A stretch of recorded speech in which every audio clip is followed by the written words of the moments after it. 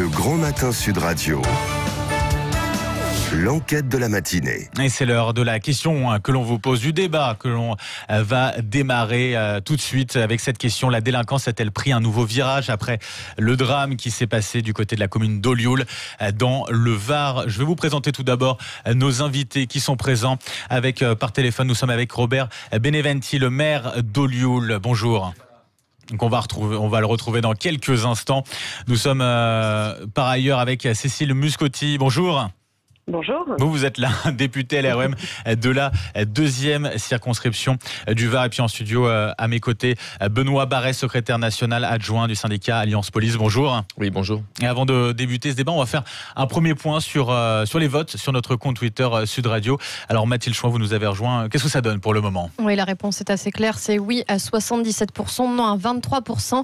Oui, elle a un nouveau visage, nous écrit Loïc, mais elle se radicalise, elle devient de plus en plus violente.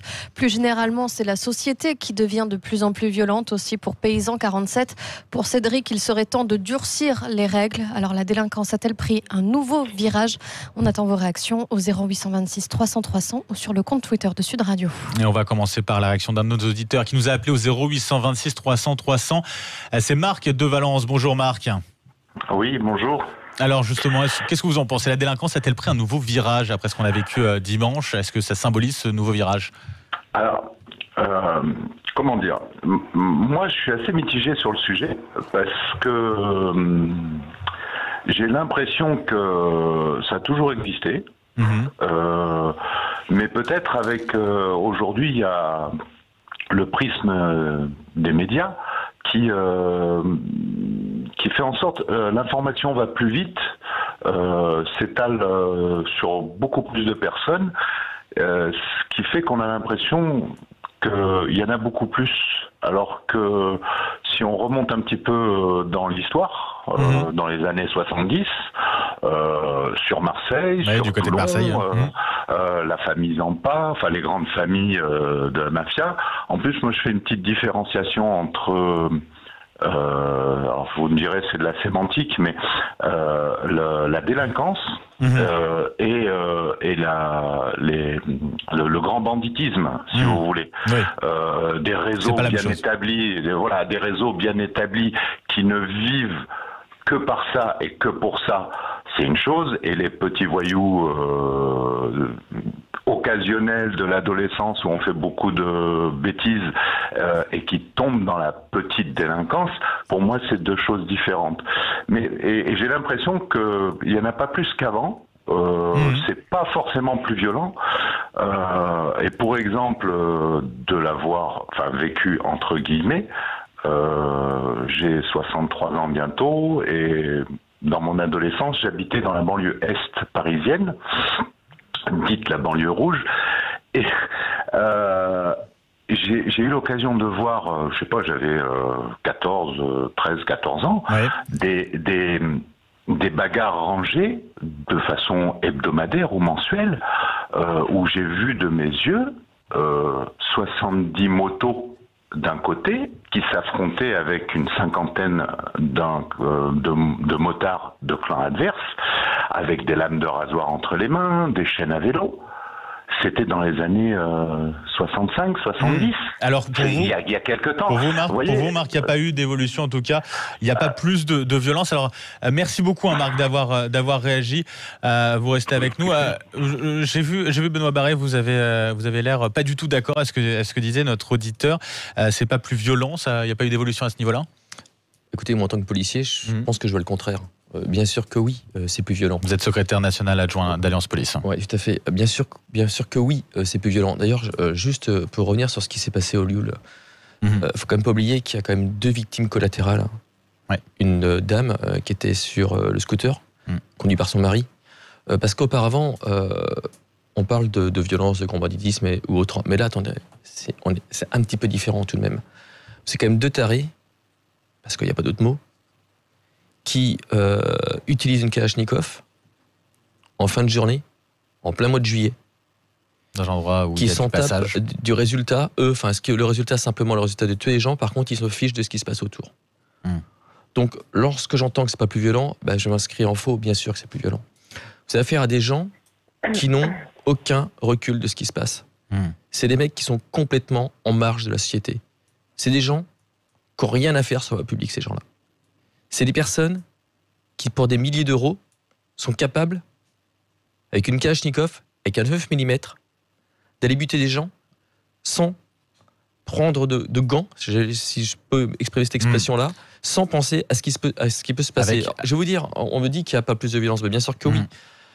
Auparavant, euh, c'est vrai que les premières violences, lorsqu'on a commencé à voir les violences urbaines euh, du côté de Lyon, euh, les cités de Lyon, ça se passait dans les cités. Aujourd'hui, outre le fait que ces gens ne respectent pas le droit de la République, mais ont leurs propres droits, leurs propres valeurs, celles de la rue, celles des voyous, celle qui ne peut pas s'appliquer à une société, une démocratie. Ces gens-là, ils veulent imposer leurs lois partout. Vous vous rendez compte Donc même sur les quartiers, même bien sur, sur, les quartiers euh, plutôt euh, paisibles. Justement, on va on va entendre euh, le maire d'Olioul qui est avec nous. justement, il est avec nous au téléphone. bonjour Robert Beneventi. Oui, bonjour. vous êtes vous êtes un homme en un maire en, en colère, encore sous le choc ce matin. Encore sous, sous, le choc, bien évidemment. Euh, en colère parce que bien on sent on sent l'évolution euh, hmm. petit à petit au fil des ans des choses on voit que c'est-à-dire? Euh, bien on voit que les, les, enfants sont de plus en plus jeunes à, laisser être laissés libres dans la rue la nuit tard euh, donc on ne sait plus par quel bout prendre les choses. Donc ça fait que moi je demande vraiment aux, parents de, ça commence par là, de, commencer leur, leur, leur parentalité comme il faut. Ensuite, nous avons dans notre pays toutes les structures qu'il faut pour que l'éducation, pour que les, choses rentrent dans, dans, le droit chemin, pour que euh, l'intérêt du travail et, du respect des uns et des autres soit euh, matérialisé, matérialisé tous les jours. Tout ça, on a tout ce qu'il faut, mais au départ, euh, l'enfant ne peut pas être comme ça laissé à son libre cours. Alors après, mm. il rentre petit à petit dans une sorte de délinquance dite mineure, entre guillemets, qui consiste à faire de la surveillance ou faire des, des, petites, euh, des, petites actions.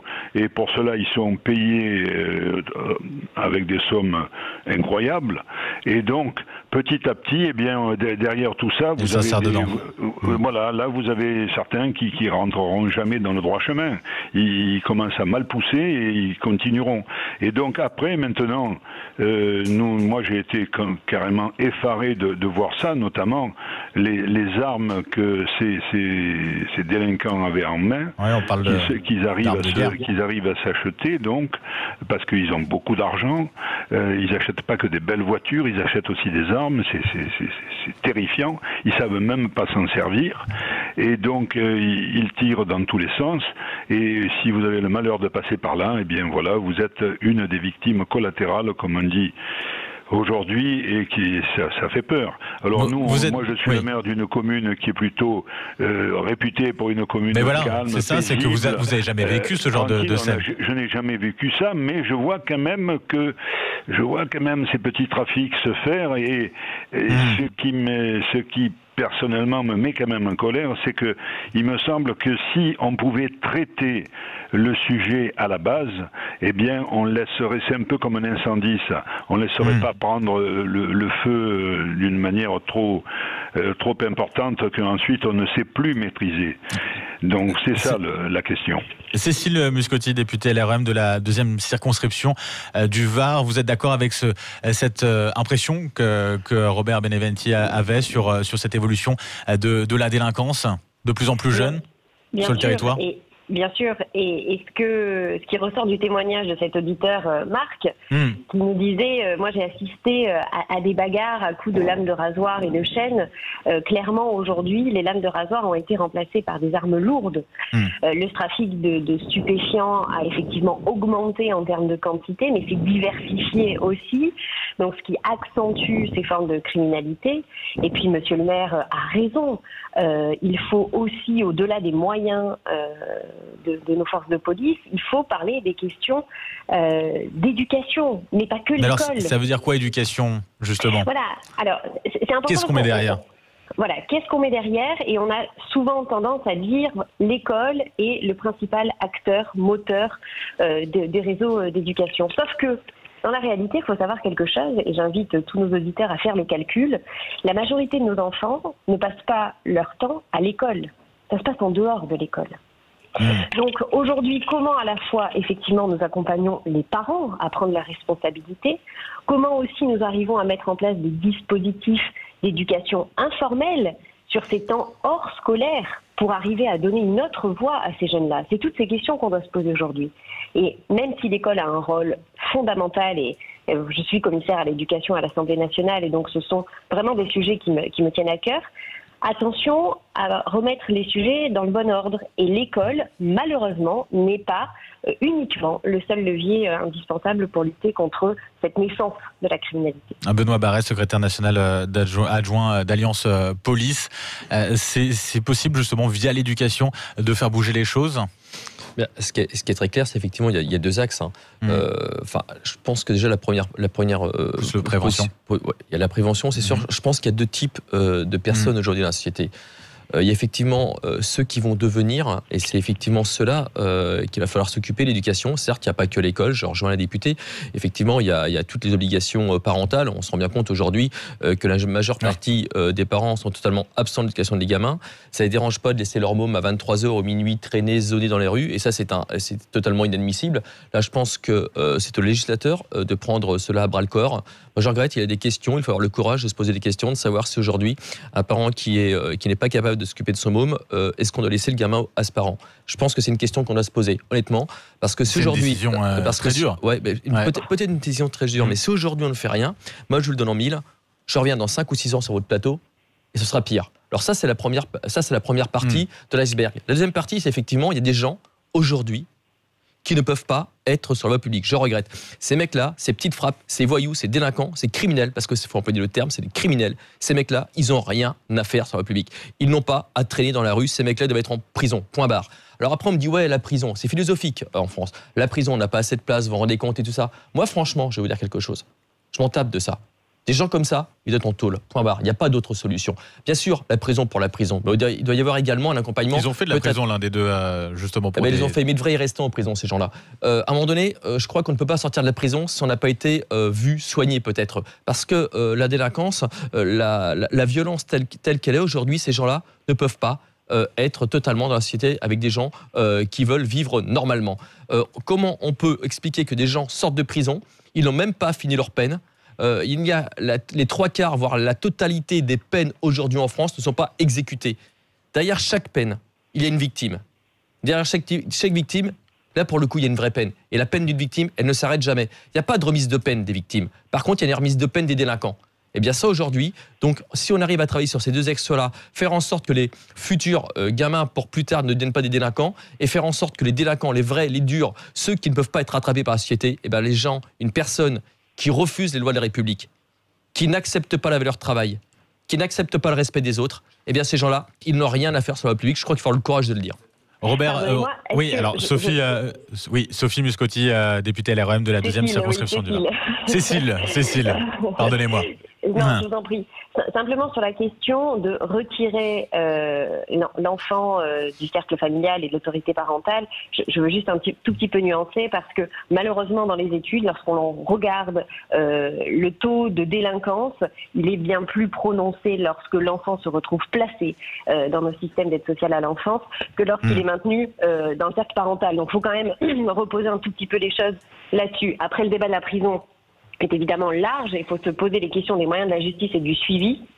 Moi, j'entends aussi, quand je visite euh, les centres pénitentiaires, que malheureusement, la prison est parfois l'école du crime. Donc, j'ouvre comme ça un grand débat et il faut qu'on l'ait, mais il faut un tout petit peu nuancer malheureusement. Et on va continuer le, débat, bien sûr. C'est l'info-vérité. Hein. La délinquance a-t-elle pris un nouveau virage? On parle bien sûr de la fusillade à Olioul avec euh, nos invités, hein, Robert Beneventi, euh, maire d'Olioul, Cécile Muscotti, députée à l'RM de la deuxième circonscription du Var, et Benoît Barret, secrétaire national adjoint du syndicat Alliance Police. On continue le débat, justement, dans quelques instants. Avec évidemment tous vos coups de fil hein, qui continuent d'arriver au 0826 300 300. Vous avez la parole via également les réseaux sociaux. Sachez qu'après ce débat de l'info-vérité, on verra comment renouer justement encore un beau lien entre consommateurs et vous, euh, les producteurs. Ce sera un reportage de la rédaction de Sud Radio signé Christine Bouillot. Sud Radio, 6h10, le grand matin été. Chez Total Direct Énergie, nous savons que vous préférez les douches au bain. C'est pas Versailles ici Que vous couvrez vos casseroles en cuisinant. C'est pas Versailles ici Et que vous éteignez toujours la lumière derrière vos enfants. C'est pas Versailles ici Vous agissez déjà au quotidien. Alors Total Direct Énergie vous aide à réduire durablement votre facture. L'électricité et le gaz jusqu'à 10% moins cher, un suivi personnalisé et un bilan annuel avec un conseiller. Rejoignez-nous au 3099 ou sur totaldirectenergie.com. Service et appel gratuit, voire conditions sur site. L'énergie est notre avenir, économisons-la. Cirque, théâtre, danse, concert, exposition. Voici ce qui vous attend à Bastidar, le Festival international des arts de la rue. Plus de 100 représentations gratuites à découvrir du 1er au 4 août avec la compagnie Générique Vapeur, la compagnie Bivouac, El Nucléo, Pierre Perret, Opal Océan et bien d'autres artistes. 25e édition de Bastidar du 1er au 4 août à Miramont de Guyenne. Retrouvez toute la programmation en ligne sur bastidar.org et sur Facebook.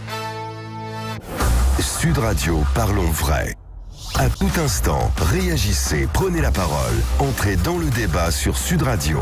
0826 300 300. Seulement 5 centimes par appel. 4 ans? C'est fou tout ce qui peut se passer en 4 ans.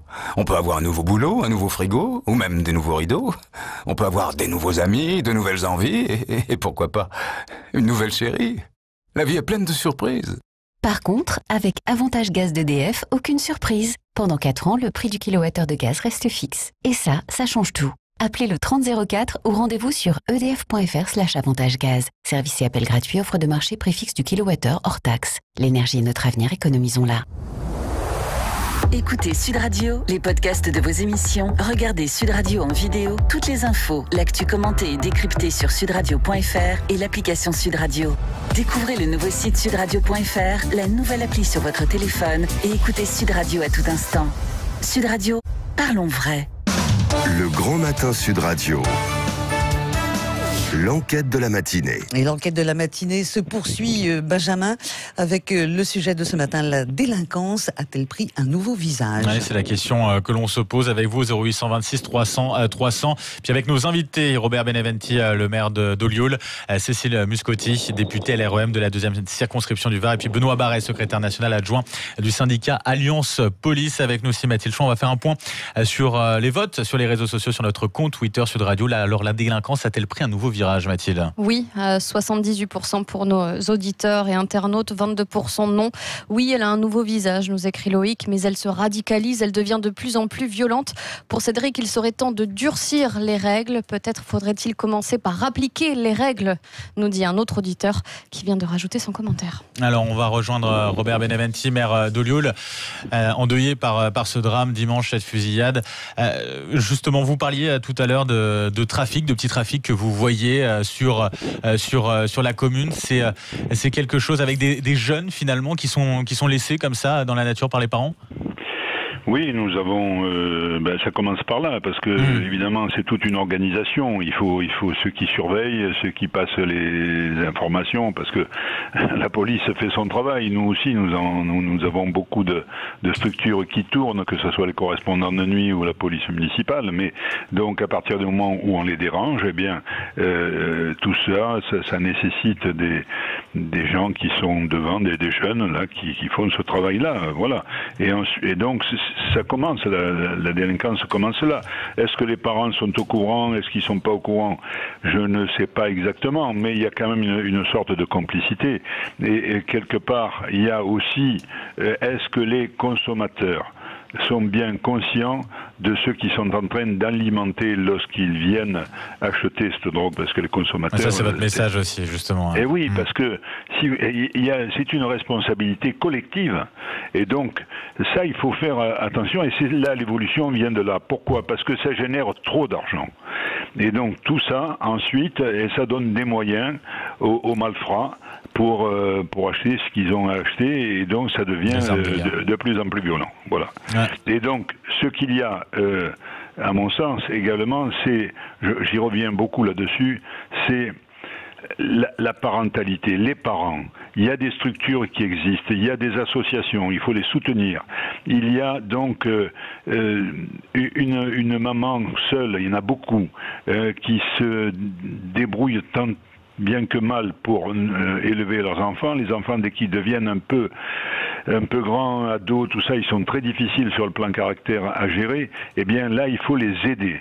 Il faut surtout pas leur lever. Moi, je ne pense pas qu'il faille lever les enfants euh, aux, parents. C'est, ce serait la pire des choses. Mais par contre, les parents, il faut les aider. Il faut les accompagner et, voir qu'ils sont plus seuls, qu'il, y a quelqu'un qui a, qui a un cadre et qu'ils peuvent. Il y a un espoir pour eux et pour leurs enfants.